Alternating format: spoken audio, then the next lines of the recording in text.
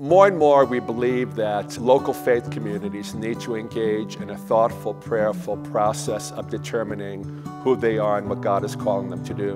In response to that, that perceived and articulated need, we have a program called Strategic Solutions, and we work with faith communities of all sizes and shapes to help them through this process of identifying core values, creating a listening process for their constituents, developing a strategic filter, and articulating some short-term goals to engage in their mission and ministry.